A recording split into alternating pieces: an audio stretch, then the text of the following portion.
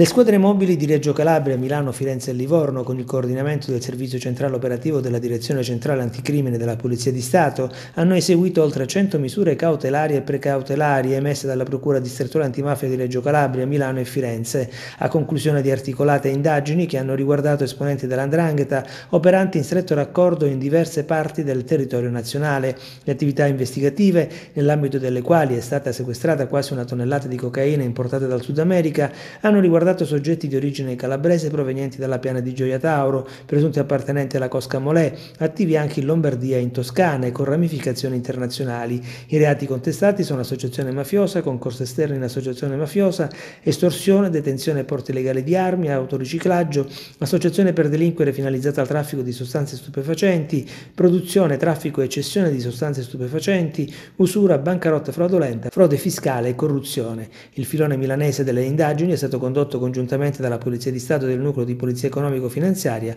della Guardia di Finanza di Como.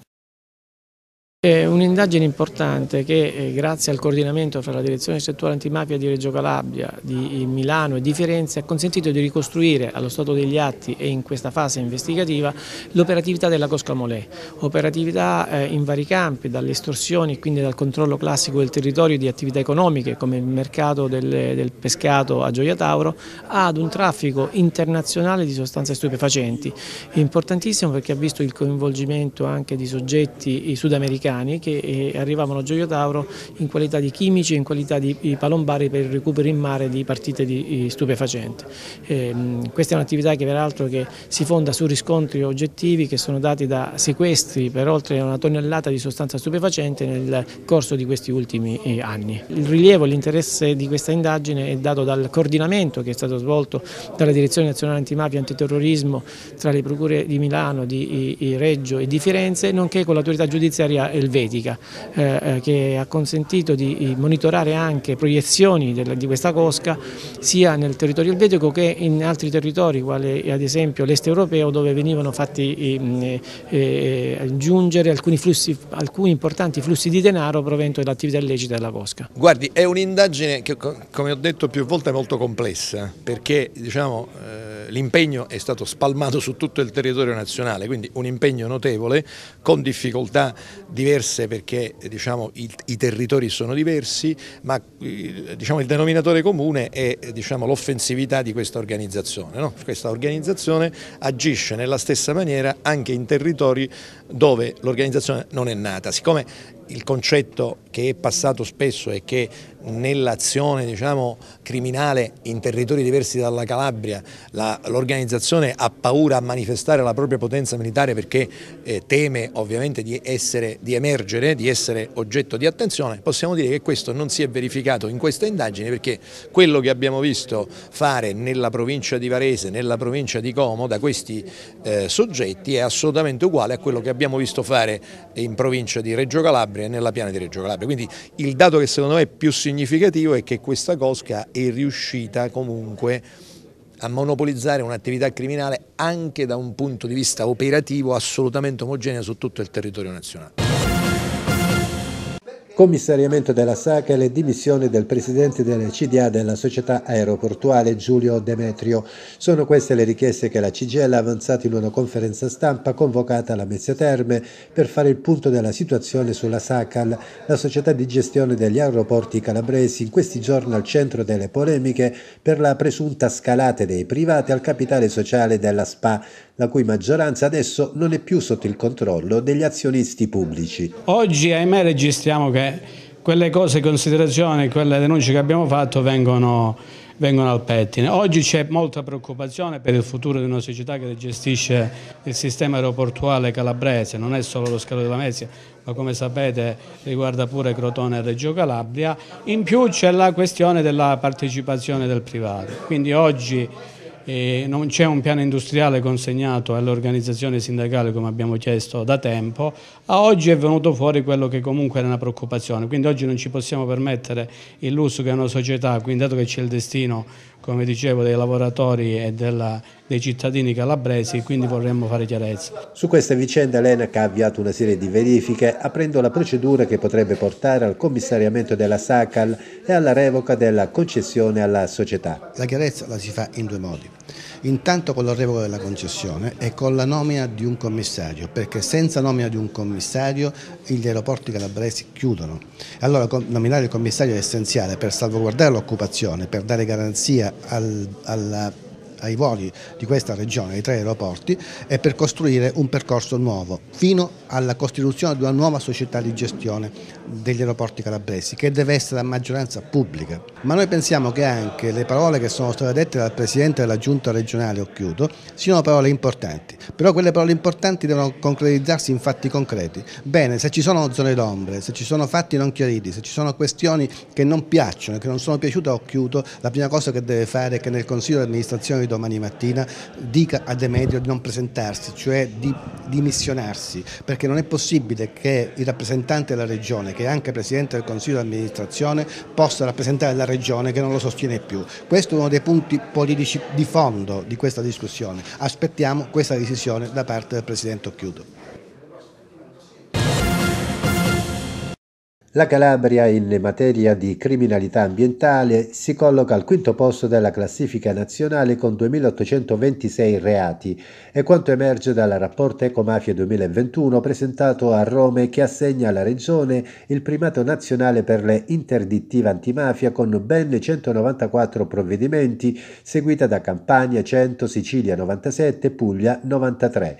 Il rapporto analizza i dati frutto dell'attività svolta da forze dell'ordine, capitaneria di porto, magistratura, insieme al lavoro del Sistema Nazionale per la Protezione dell'Ambiente, nato dalla sinergia tra ISPRA e Agenzia Regionale per la Protezione dell'Ambiente e dell'Agenzia delle Dogane e dei Monopoli.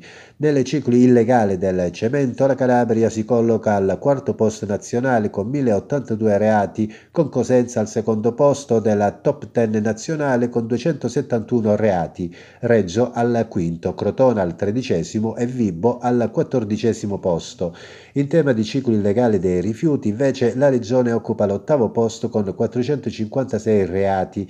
Dal 2002 ad oggi, tra le principali operazioni di polizia giudiziaria in materia ambientale, 39 hanno riguardato la Calabria, di cui 25 dirette dalle procure calabresi e 14 dalle altre procure in cui è coinvolta la Regione. Si è svolto un incontro sulla questione relativa alle spettanze arretrate dei lavoratori del Consorzio di Bonifica Ionio Cosentino ed altre problematiche del settore. Un incontro richiesto e fortemente voluto dalla triplice sindacale e da Pasqualina Straface, consigliere regionale di Forza Italia. Si è trattato, dice la Straface, di un primo positivo incontro istituzionale utile per dare risposta ai lavoratori del Consorzio di Bonifica, i quali ormai da mesi si battono per rivendicare in modo più che legittimo i loro diritti e per avviare una seria e strutturale riforma dello stesso stesso consorzio. Il Comitato di gestione dell'Autorità di Sistema Portuale dello Stretto ha approvato all'unanimità dei presenti il bilancio di previsione per l'anno 2022, dopo che anche l'organismo di partenariato aveva concesso nella seduta del 9 novembre il consenso previsto dalla legge.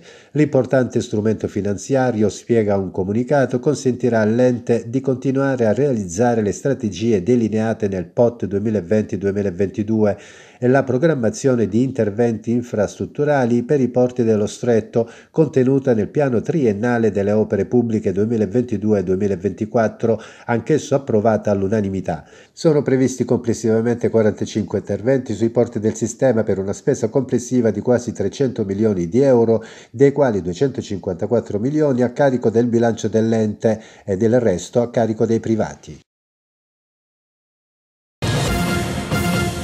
Tre nuovi decessi e 152 contagi in risalita rispetto a lunedì, quando erano 120, nelle ultime 24 ore in Calabria.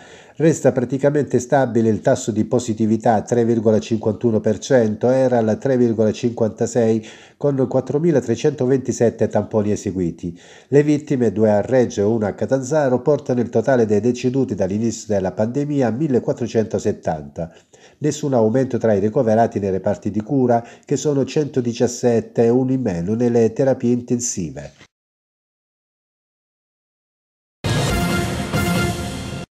Cinque avvisi di conclusione delle indagini sono stati notificati dalla Guardia di Finanza di Reggio Calabria nei confronti di altrettanti dipendenti del comune accusati di assenteismo. I cinque dipendenti comunali sono indagati per i reati di truffa aggravata ai danni dello Stato e falsa attestazione della presenza in servizio. Le investigazioni, eseguite dal gruppo di Reggio Calabria attraverso un'attività di video ripresa dell'ingresso degli uffici comunali e l'analisi dei registri delle presenze della nona circoscrizione di Gallico San Batello, avrebbero permesso di raccogliere elementi nei confronti dei dipendenti comunali che nel periodo in cui sono stati sottoposti a monitoraggio si allontanavano frequentemente dal luogo di lavoro senza registrare l'uscita e senza usare per il rientro il cosiddetto badge marcatempo, risultando dunque regolarmente presenti.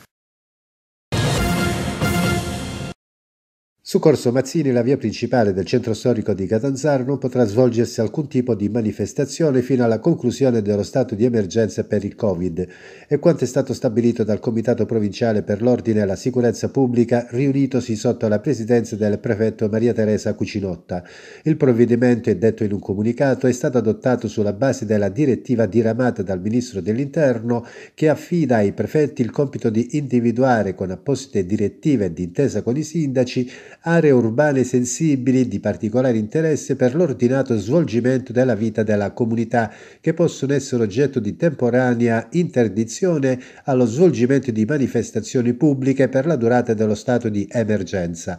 E ciò in funzione dell'eventualità che anche nel territorio provinciale possano verificarsi manifestazioni di protesta e di contestazione contro le misure sanitarie di contenimento adottate dal governo, in analogia con quanto si sta verificando sull'intero territorio nazionale. Dopo un proficuo confronto tra tutte le componenti del comitato ed a seguito di un attento bilanciamento dei diritti costituzionalmente garantiti, quale quello di manifestare da un lato, e quelli attinenti allo svolgimento delle attività lavorative e alla mobilità dei cittadini, è stato stabilito di interdire allo svolgimento delle manifestazioni per la durata dello stato di emergenza tutto Corso Mazzini, compresa Piazza Rossi, che è quella antistante la prefettura.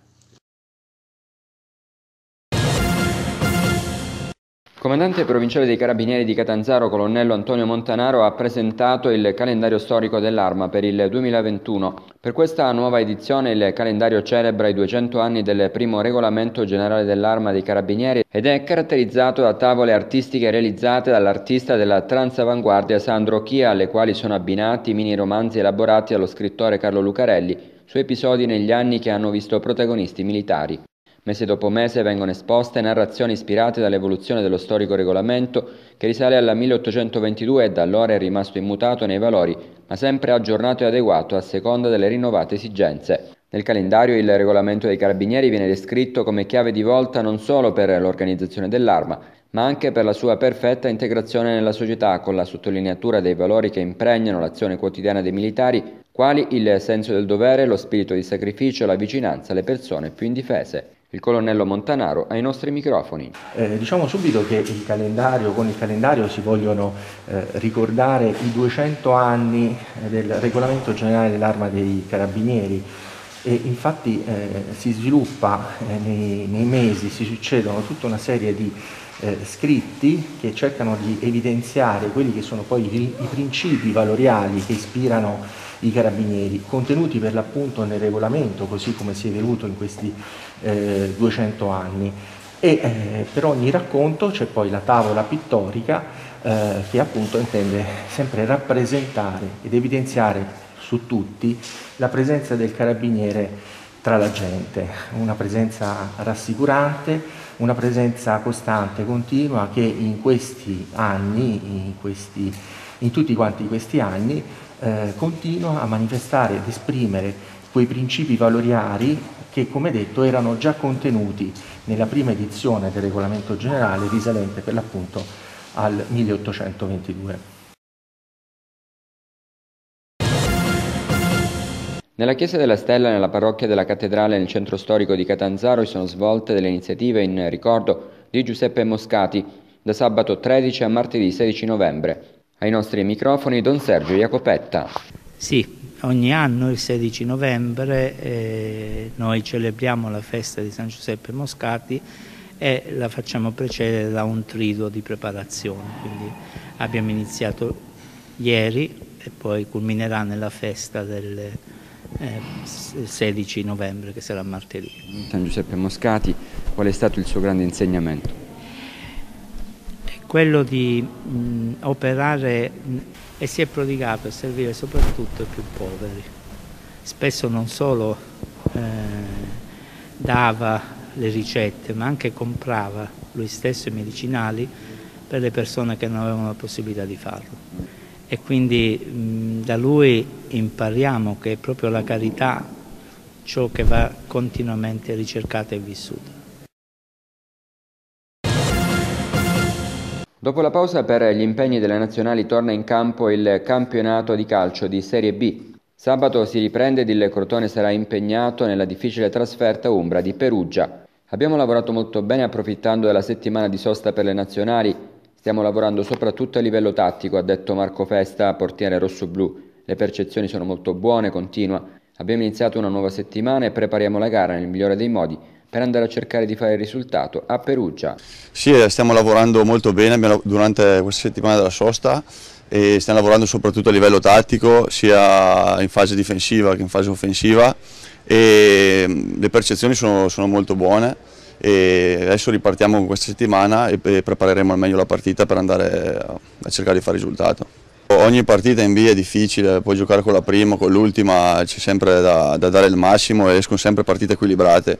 Quindi noi adesso dobbiamo pensare partita dopo partita, partendo appunto da quella di Perugia e poi quando finirà quella penseremo, penseremo alle altre. Sei da sette anni al Crotone, sei uno dei leader, hai vissuto momenti bellissimi con le promozioni e amari con le retrocessioni. Cosa servirà per uscire da questa situazione? Sì, questo fa parte del calcio, diciamo. io ho avuto la fortuna di, di vivere dei bei momenti e, e secondo me essere diciamo, messi, messi in mano in questo momento può essere di grande stimolo per, per tornare a rialzarsi e, e tornare a ottenere dei risultati importanti.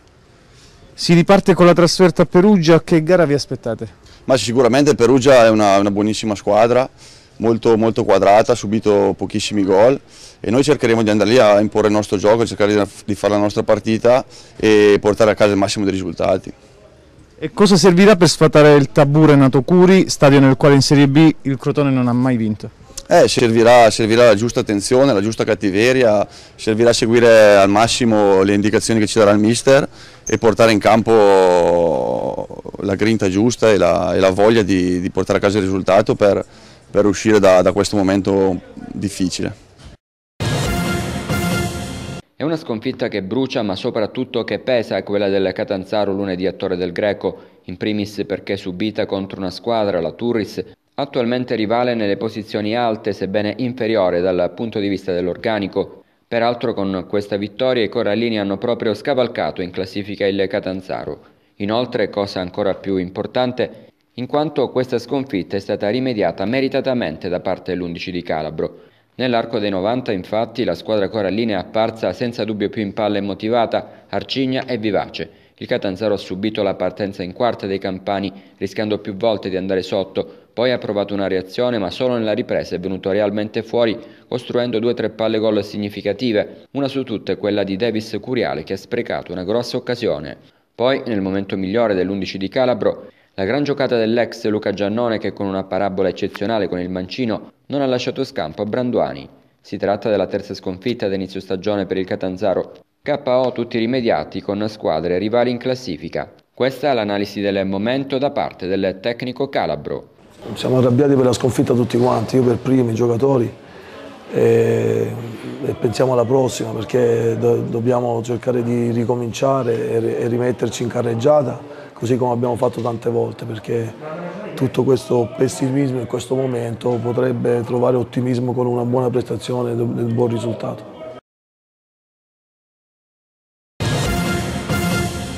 Nel campionato interregionale gruppo I ancora un segnale importante dalla Mezia che vince la quarta gara consecutiva e tiene il passo della Gelbison capolista che comunque rimane a più 4 la squadra di Tony Lio espugna il Falcone Borsellino di Paternò con una doppietta di Umbaca, autentico trascinatore nella trasferta sicula. L'ex Sambiase va a bersaglio al sessantesimo e al novantacinquesimo.